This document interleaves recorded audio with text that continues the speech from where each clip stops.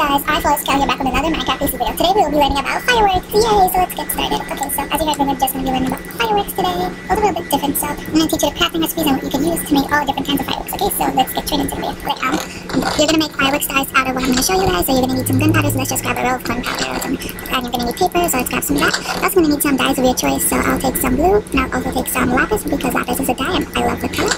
Um, you could use banners optional if you want. You're also to need a crafting table, obviously, and depends whatever you want to build out of it. You can use, um, to make the color of it, you can use anything like feathers, fire charges. So let's take one of each, and I'll show you all, like, a few possible combinations you can make. So I'll just take some of that, and that, and they give off different effects for those chest so you don't mind that. Okay, so let's place down a crafting table, and here I have the crafting recipes for the fireworks right here. So a dye of your choice, and those will make a fireworks star, so, okay, so let's do that. Okay, so I'll put, like, a lapis dye over here, and we'll put some paper, gunpowder, um, no, not there, cow, uh, and you could also put, wait, what, what, what, what lapis, um, no, oh, no, no, you're not supposed to put paper, sorry, sorry, sorry, I forgot, okay, so, um, yeah, you can mix that with a fire charge, you can only have two of these optional, so, um, yeah, um, okay, so we'll put glowstone dust, and you can see that we'll make a, a purple, a trail, and a twinkle, so we'll make that, um, you need the paper to make the rocket, and this will transform it into a rocket, so you'll need the paper, your firework star, and gunpowder, um, it could be like this, um, it could be like that, or like that, and you'll still get it, and now let me, um, set it for, let's say, 1800, or I don't know how I said that, but,